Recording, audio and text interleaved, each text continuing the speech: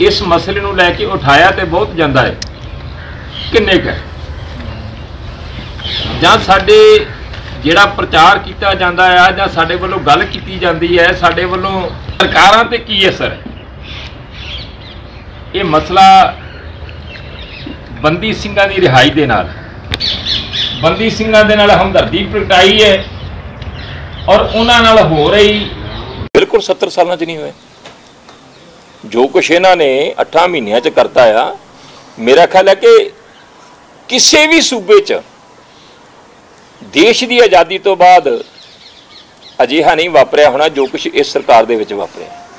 ਮੇਰਾ ਖਿਆਲ ਹੈ ਕਿ ਇਹ ਵੀ 70 ਸਾਲਾਂ 'ਚ ਪਹਿਲੀ ਵਾਰ ਆਇਆ ਕਿ ਕੋਈ ਸਰਕਾਰ ਬਣਦੀ ਸੀ ਨਾ, ਲੋਕੀ 2 3 4 ਸਾਲ ਉਹਦੀ ਉਡੀਕ ਕਰਦੇ ਸੀ। ਉਹਨਾਂ ਨੂੰ ਆਸ ਹੁੰਦੀ ਸੀ। ਲੋਕੀ ਕਹਿੰਦੇ ਸੀਗੇ ਕਿ ਹੁਣ ਹੁਣ ਕਰ ਰਹੇ ਆ, ਇਸ ਤੋਂ ਚੰਗਾ ਕਰਨਗੇ। ਤੇ ਮੇਰੇ ਖਿਆਲ ਪਹਿਲੀ ਸਰਕਾਰ ਹੈ 17 ਸਾਲਾਂ 'ਚ, ਜਿਹਨੂੰ ਮੇਰਾ ਖਿਆਲ ਹੈ ਕਿ 2 ਮਹੀਨਿਆਂ ਦੇ ਵਿੱਚ ਵਿੱਚ ਹੀ ਦੁਨੀਆ ਭਰ ਦੀਆਂ ਗਾਲਾਂ ਪੈਣੀਆਂ ਸ਼ੁਰੂ ਹੋ ਗਈਆਂ। ਲੋਕੀ ਪਛਤਾ ਰਹੇ ਆ। ਕੰਧਾਂ 'ਚ ਸਿਰ ਨਹੀਂ ਮਾਰ ਸਕਦੇ। ਜਿੱਥੇ ਵੀ ਚੱਲ ਜਾਓ, ਖੁਸ਼ੀ ਦੇ ਸਮਾਗਮ ਤੇ, ਗਮੀ ਦੇ ਸਮਾਗਮ ਤੇ, ਉੱਥੇ ਚਰਚਾ ਹੀ ਇਹੀ ਚੱਲਦੀ ਹੈ ਕਈ ਮੈਨੂੰ ਕਹਿਣਗੇ, ਵਲਟੋਆ ਸਾਹਿਬ, ਲੋਕ ਤੁਹਾਨੂੰ ਯਾਦ ਕਰਦੇ ਮੈਂ ਕਿਹਾ, ਯਾਦ ਤੇ ਹਰ ਵਾਰੀ ਕਰਦੇ ਆ। ਮੈਂ ਕਿਹਾ ਯਾਦ ਤੇ ਕਰਦੇ ਪਰ ਨਵਾਂ ਯਾਰ ਲੱਭ ਦਈਏ। ਸਾਹਿਬ ਇੱਕ ਵੈਪਨ ਦੀ ਵੈਪਨ ਦੀ ਸਰਕਾਰ ਨੇ ਕਿਹਾ ਕਿ ਵੈਪਨ ਦੇ ਕੈਨਸਲ ਕੀਤੇ ਜਾ ਰਹੇ ਧੜਾ ਧੜਾ ਜਿੱਦਾਂ ਤਰਨਤਾਰਨ ਚ ਵੀ ਆਈ ਰਿਪੋਰਟ ਅੰਮ੍ਰਿਤਸਰ ਦੇ ਦਿਹਾਤੀ ਦੇ ਵੀ ਕੀਤੇ ਜੀ। ਦੂਜੇ ਪਾਸੇ ਗਨ ਕਲਚਰ ਨੂੰ ਖਤਮ ਕਰਦੇ ਆਮ ਆਦਮੀ ਪਾਰਟੀ ਦੇ ਕਾਰਕੁਨ ਜਿਹੜੇ ਨੇ ਜਿਵੇਂ ਮੰਤਰੀ ਸਾਹਿਬ ਧਾਲੀਵਾਲ ਸਾਹਿਬ ਦੇ ਨੇੜੇ ਸ਼ਰੇ ਆਮ ਲਹਿਰਾਉਂਦੇ ਨੇ ਅਹ ਵਿਚਾਰਾ ਦੇ ਨਾਲਾ 'ਚ ਐਫ ਆਈ ਆਰ ਹੋਈ ਹੈ ਜੀ। ਤਾਂ ਕੀ ਕਹਿਣਾ ਚਾਹੁੰਦੇ ਆਪ ਤੇ ਖੁਦ ਵਰਕਰ? ਇੱਕ ਪਾਸੇ ਭਗਵੰਤ ਮਾਨ ਕਹਿ ਰਹੇ ਸਖਤ ਐਕਸ਼ਨ ਲੈ ਰਹੇ ਦੂਸਰੇ ਪਾਸੇ ਆਮ ਆਦਮੀ ਪਾਰਟੀ ਦੇ ਕਾਰਕੁਨ ਖੁਦ ਵੈਪਨ ਲਹਿਰਾ ਰਹੇ ਨੇ। ਦੇਖੋ, ਕੋਈ ਵੀ ਜਿਹੜਾ ਗਨ ਕਲਚਰ ਨੂੰ ਪ੍ਰਮੋਟ ਕਰਦਾ, ਜਿਹੜਾ ਸਰਕਾਰ ਨੇ ਹੁਕਮ ਜਾਰੀ ਕੀਤਾ ਆ, ਉਹਦੀ ਉਲੰਘਣਾ ਕਰਦਾ ਆ। ਹਰੇਕ ਤੇ ਕਾਨੂੰਨੀ ਕਾਰਵਾਈ ਹੋਣੀ ਚਾਹੀਦੀ ਹੈ। ਔਰ ਖਾਸ ਕਰਕੇ ਜਦੋਂ ਅਜਿਹੇ ਲੋਕ ਕਰਦੇ ਨੇ, ਜਿਹੜੇ ਉਸ ਸਰਕਾਰ ਦੇ ਨਾਲ ਨੇੜਿਓਂ ਜੁੜੇ ਹੋਏ ਨੇ, ਇਹਨੂੰ ਤੇ ਬਦਕਿਸਮਤੀ ਕਹਿ ਸਕਦੇ ਹਾਂ। ਇਹਨੂੰ ਤੇ ਚਿੰਤਾਜਨਕ ਹੀ ਕਹਿ ਸਕਦੇ ਹਾਂ। ਤੇ ਦੂਸਰੇ ਬੰਨੇ ਦੇਖੋ ਲਾਇਸੈਂਸਾਂ ਦੀ ਵੀ ਲੋਕਾਂ ਨੂੰ ਲੋੜ ਹੈ ਲੋਕੀ ਕਾਰੋਬਾਰ ਕਰਦੇ ਨੇ, ਲੋਕ ਖੇਤਾਂ 'ਚ ਰਹਿੰਦੇ ਨੇ, ਲੋਕਾਂ ਨੂੰ ਸੈਲਫ ਡਿਫੈਂਸ ਵਾਸਤੇ ਚਾਹੀਦਾ ਆ। ਹੁਣ ਜੇ ਮੰਨ ਲਓ ਕਿਸੇ ਕੋਲ ਹਥਿਆਰ ਹੀ ਨਹੀਂ ਹੋਊ ਤਾਂ ਕੰਧ ਟੱਪ ਕੇ ਕੋਈ ਆ ਜਾਊਗਾ, ਹਾਂਜੀ, ਤੇ ਉਹ ਲੁੱਟਾਂ ਖੋਹਾਂ ਜਿਸ ਕਦਰ ਵਧੀਆਂ ਹੋਈਆਂ ਨੇ, ਤੇ ਤੁਸੀਂ ਕਹਿ ਦਿਓ ਕਿ ਇਹ ਨਹੀਂ ਹੋਣਾ ਚਾਹੀਦਾ। ਸੈਲਫ ਡਿਫੈਂਸ ਵਾਸਤੇ ਵੀ ਹਥਿਆਰ ਜ਼ਰੂਰੀ ਹੈ।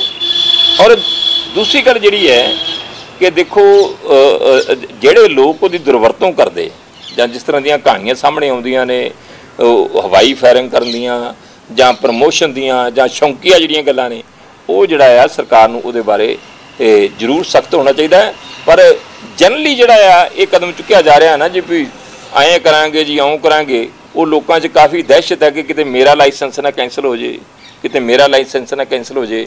ਹਾਂਜੀ, ਇਹ ਸ਼੍ਰੋਮਣੀ ਕਮੇਟੀ ਬੰਦੀ ਸਿੰਘਾਂ ਦੀ ਰਿਹਾਈ ਵਾਸਤੇ ਪਰਫਾਰਮੈਂਸ ਕੰਪੇਨ ਸ਼ੁਰੂ ਕਰਨ ਜਾ ਰਹੀ ਹੈ ਦਸੰਬਰ ਤੋਂ।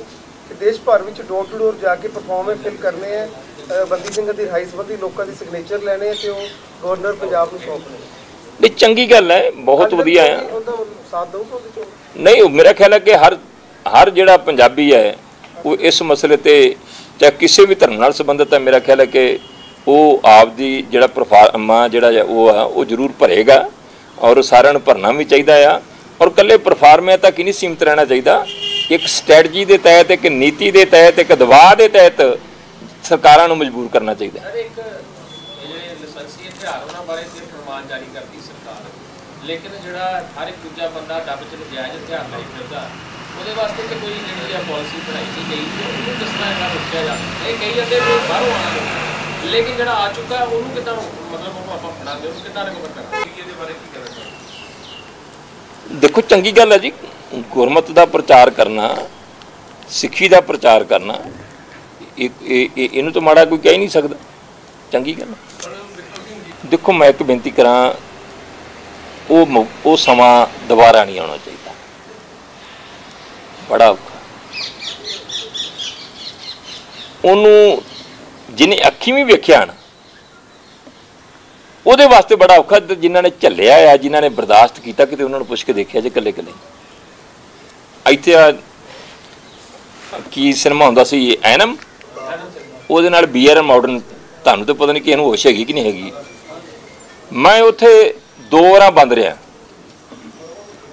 ਤੇ ਮੈਂ ਉੱਥੇ ਨੌਜਵਾਨਾਂ ਦੀਆਂ ਲਾਸ਼ਾਂ ਪਈਆਂ ਦੇਖੀਆਂ। ਮੈਂ ਉੱਥੇ ਧੀਆਂ ਭੈਣਾਂ ਦੀ ਬੇਪਤੀ ਹੁੰਦੀ ਵੇਖੀ। ਮੈਂ ਉੱਥੋਂ ਨੌਜਵਾਨਾਂ ਨੂੰ ਲਿਜਾ ਕੇ ਝੂਠੇ ਪੁਲਿਸ ਮੁਕਾਬਲੇ ਬਣਾਏ ਗਏ। ਤੇ ਔਰ ਬਣਾਉਣ ਤੋਂ ਬਾਅਦ ਜਦੋਂ ਵਾਪਸ ਆਉਂਦੇ ਸੀ ਤੇ ਤਾੜੀ ਮਾਰ ਮਾਰ ਕੇ ਹੱਸਦੇ ਆ ਵੀ ਤੂੰ ਗੋਲੀ ਗੋਲੀ ਟਿਕਾ ਕੇ ਮਾਰੀ ਹੂ। ਇਹ ਗੱਲਾਂ ਕਰਦਿਆਂ ਦੇਖਿਆ, ਉਸ ਬੁੱਚੜਖਾਨੇ 'ਚ। ਇਹ ਕੱਲੀ ਬੀਆਰ ਮਾਡਰਨ ਦੀ ਨਹੀਂ ਗੱਲ। ਇਹੋ ਜਿਹੇ ਤਸੀਹੇ ਕੇਂਦਰ, ਇਹੋ ਜਿਹੇ ਬੁੱਚੜਖਾਨੇ ਪਤਾ ਨਹੀਂ ਪੰਜਾਬ ਦੀ ਧਰਤੀ ਤੇ ਕਿੰਨੇ ਕੁ ਸੀਗੇ। ਤੇ ਜੋ ਕੁਛ ਵਾਪਰਿਆ ਆ, ਜਿਹਦਾ ਜੀ ਚਲਾ ਗਿਆ ਜਾਂ ਜਾਂ ਜਿਨ੍ਹਾਂ ਨੂੰ ਝੱਲਣਾ ਪਿਆ, ਉਹਨਾਂ ਨੂੰ ਪੁੱਛ ਕੇ ਦੇਖੋ। ਮੈਂ ਕਹਿੰਦਾ ਕਿ ਉਹ ਮੌਕਾ, ਉਹ ਉਹ ਭੌਂ ਕੇ ਨਹੀਂ ਆਉਣਾ ਚਾਹੀਦਾ।